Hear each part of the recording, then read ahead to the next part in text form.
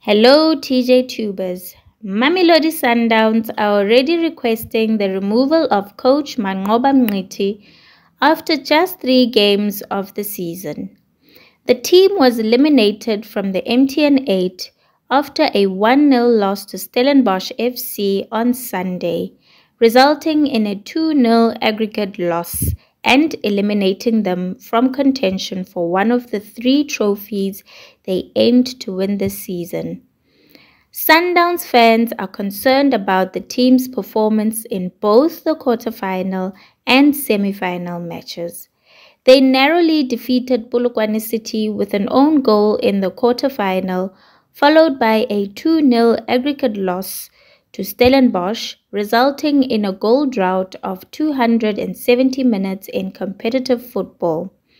As a result, supporters believe it was a mistake to part ways with coach Rhulani Mokwena and are already advocating for Mngqithi's removal with calls for the return of veteran coach Pitso Mosimane.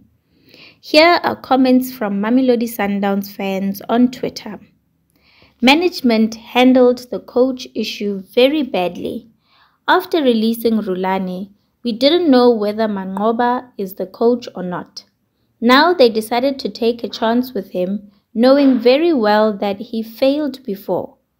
Why don't you swallow your pride and hire Pitso?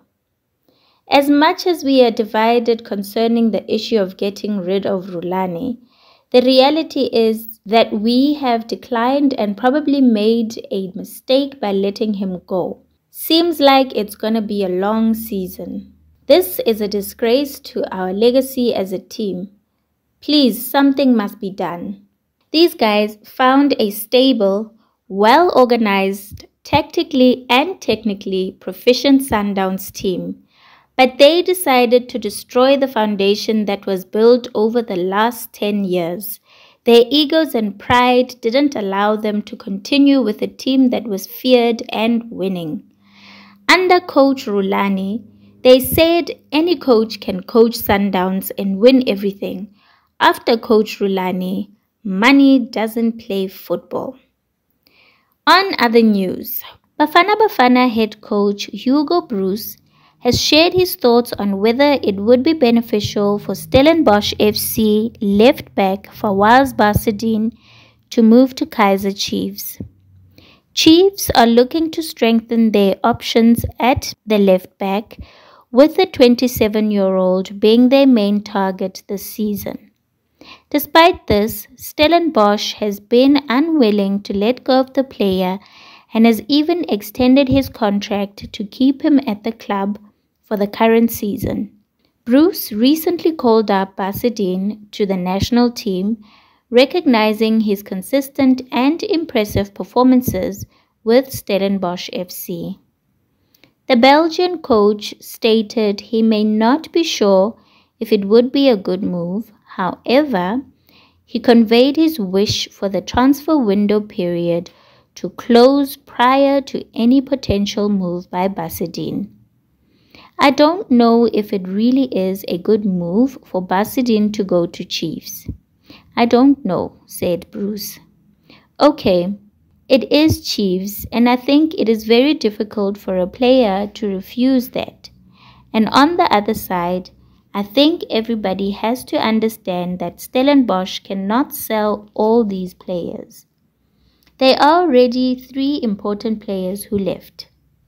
I'm afraid now maybe Fawaz, maybe might also leave the club.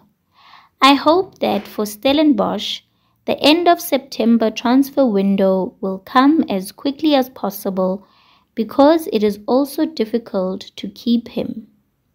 It is not a nice thing for a club like them.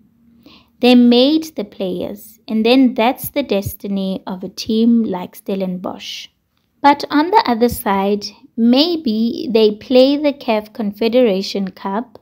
Maybe they will be struggling or fighting for the title next year.